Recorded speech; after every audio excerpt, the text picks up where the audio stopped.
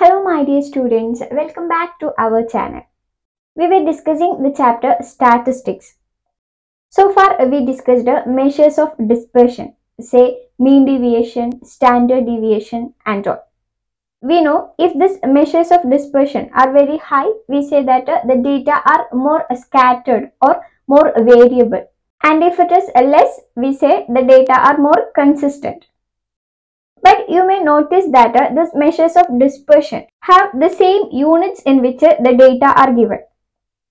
So we cannot compare the variability of two series with the same mean which are measured in different units.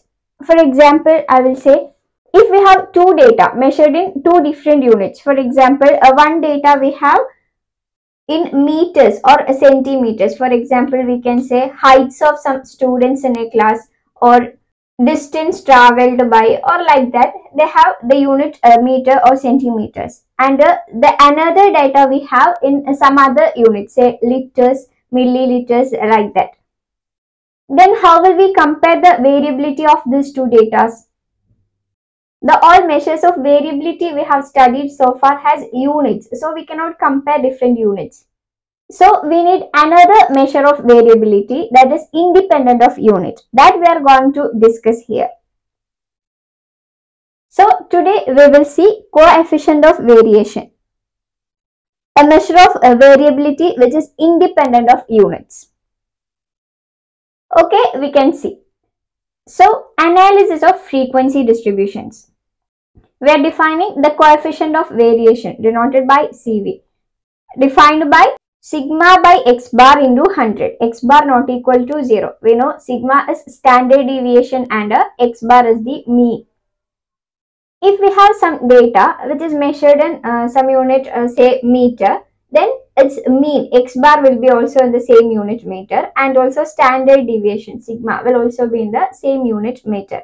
Then while taking its ratio the units will cancel out and uh, it will become independent of unit so we can use a coefficient of variation to compare the variability of two series with the different units.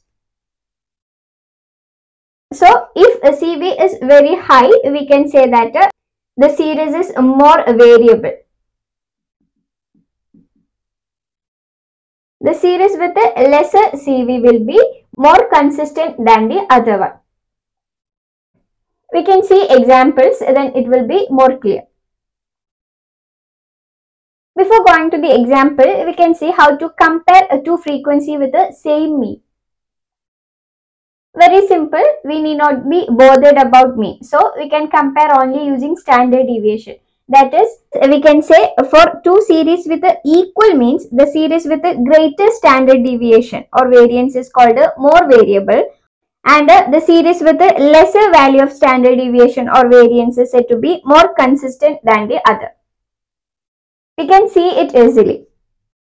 Suppose we have two distributions with the first distribution having mean x1 bar and a standard deviation sigma 1 and a second distribution with a mean x2 bar and a standard deviation sigma 2.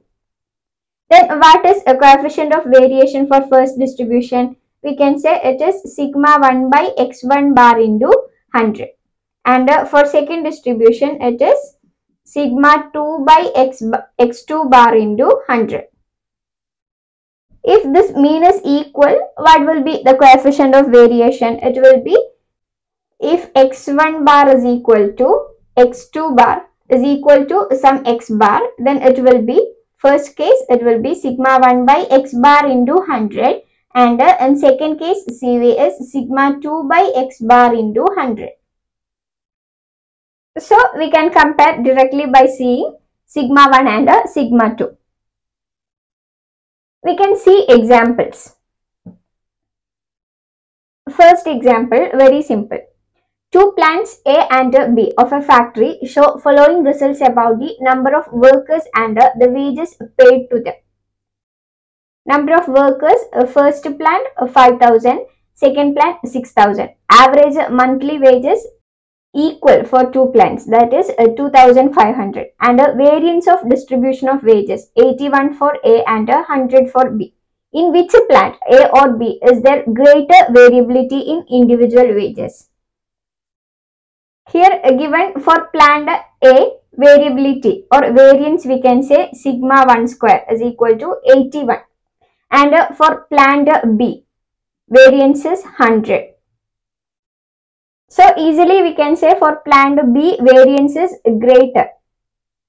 So of course standard deviation is greater for a plant B and uh, since it have same average that is x bar is equal to say 2500 here. So we can say series with more variance have more variability in wages or otherwise here sigma 1 is equal to 9 here sigma 2 is equal to 10 here we can say sigma 2 is greater than sigma 1 so the plant with a greater standard deviation will have more variability that is plant b has more variability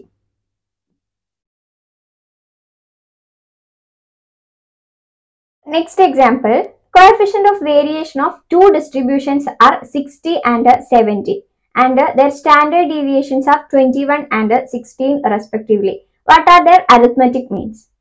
Here given coefficient of variation for uh, two data and uh, also its standard deviation. We have to find their arithmetic means.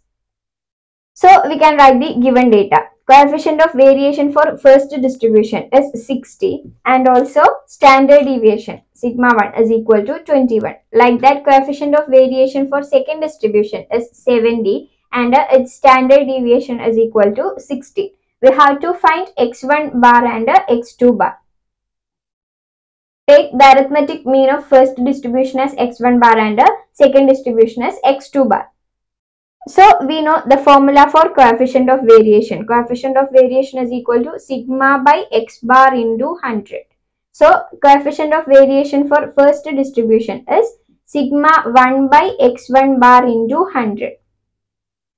So substitute the given values. Here sigma 1 is equal to 21 and the coefficient of variation is 60. So we can write 60 is equal to 21 by x1 bar into 100. So we can write x1 bar is equal to 21 by 60 into 100. which is equal to 35. Like that we can write coefficient of variation for a second distribution is equal to sigma 2 by x2 bar into 100. Substitute the given values 70 is equal to sigma 2 is 60 by x2 bar into 100. So we can write x2 bar is equal to 16 by 70 into 100 which is equal to 22.85. So we can say arithmetic mean for first distribution is 35 and arithmetic mean for second distribution is 22.85. Next example, the following values are calculated in respect of heights and uh, weights of the students of a section of class 11. Here mean and uh, variance of height and uh, weight are given. Can we say that the weights show greater variance than the heights? We know height and weight is in different units, height in centimeter and weight in kilogram. So we cannot compare uh, merely by seeing mean and variance. We need measure of variability that is independent of unit. That is, we need coefficient of variation. So we can find coefficient of variation for height and weight. We know the formula for coefficient of variation is equal to sigma by x bar into 100. So we can find sigma for height is equal to square root of variance. That is square root of 127.69 which is equal to 11.3 centimeter. And also standard deviation for weight we can see. Square root of variance that is square root of 23.1361 which is equal to 4.81 kg x bar we have so we can find coefficient of variation for height and a weight. For height which is equal to 11.3 by x bar is 162.6 162.6 into 100 which is equal to 6.95 like that coefficient of variation for weight we can say 4.81 divided by x bar is 52.36 into 100 which is equal to 9.18. So coefficient of variation is high for weight than height. So we can say weight show more variance than height. So this is all about today. So our chapter is over. We can see question paper discussion in the next video. So what all things we studied in this chapter? Measures of dispersion. First one range.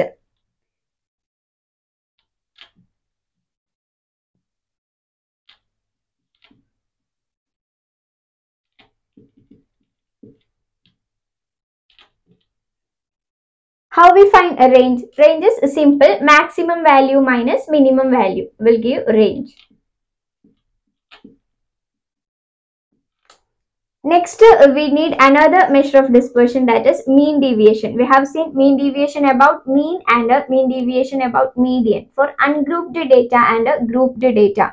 Grouped data again we have two cases discrete frequency distribution and a continuous frequency distribution mean deviation about mean for ungrouped data we can say sigma xi minus x bar by n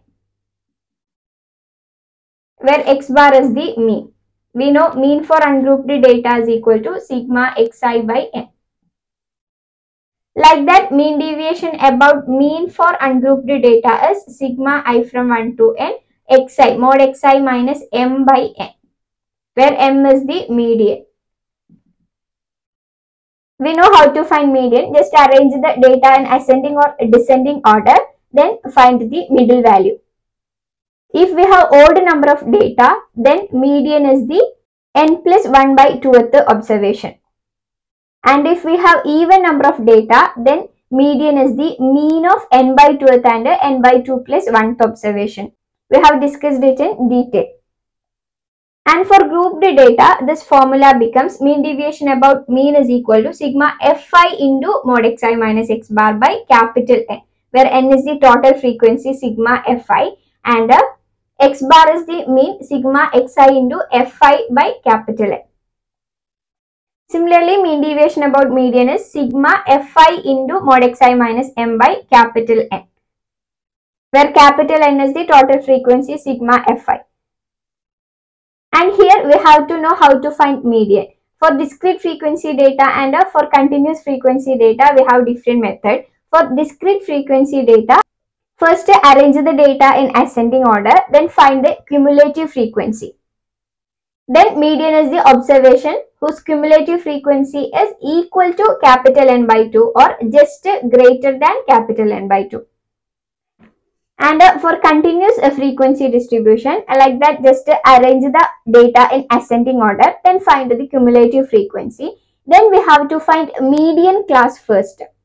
Median class is the class interval with the cumulative frequency just greater than capital N by 2 then we have a formula m is equal to L plus n by 2 minus c by f into h where L is the lower limit of the median class F is the frequency of the median class, X is the width of the median class and uh, C is the cumulative frequency of the class just preceding median class and uh, N is the total frequency. And also in case of continuous frequency distribution, Xi are the mid value of each class interval. Like that we have studied how to find standard deviation for ungrouped data and uh, grouped data. Standard deviation is nothing but square root of variance. Variance, the formula is equal to for ungrouped data sigma xi minus x bar square by n and for grouped data sigma fi into xi minus x bar square by capital N. And the standard deviation is nothing but sigma, small letter sigma, positive square root of variance. And uh, finally, we have studied coefficient of variation that is sigma by x bar into 100. Also, we have studied shortcut method or step deviation method to find a mean and uh, thereby mean deviation about mean and also standard deviation. In step deviation method, we are defining a new variable di or yi anything by xi minus a by h where a is the assumed mean. We have discussed this. Assumed mean is almost a medial value and h is the common factor for this deviation. We can use this formula to find a mean for any data for ungrouped data and for grouped data anywhere. So this is all about this chapter, a simple chapter. We have to study only one or two formulas. So we can discuss more questions uh, from this chapter in the next video. See you in the next video. If you find this video useful, please like, share, comment and subscribe to our channel. Thank you for watching. Thank you.